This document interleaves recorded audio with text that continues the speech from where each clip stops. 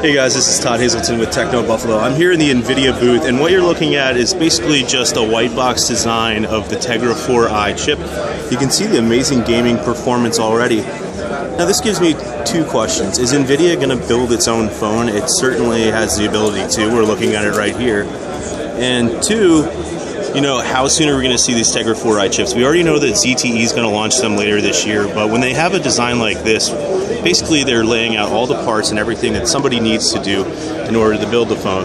It sort of encourages a manufacturer to use a Tegra 4i as opposed to Qualcomm or something like that, and especially when you get these kind of amazing graphics.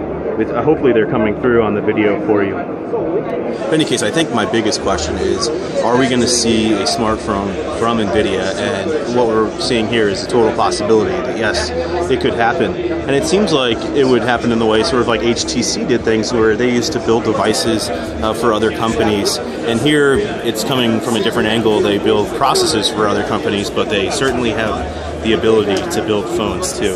So quick look, we can't get inside, but you can see it. Even despite the power, the phone's relatively thin. Got the 3.5 millimeter headphone jack up there, the volume button's on the top. Anyway, quick look here at this sample design of the Tegra 4i chip uh, at the NVIDIA booth, Mobile World Congress, and this is Todd Haselton.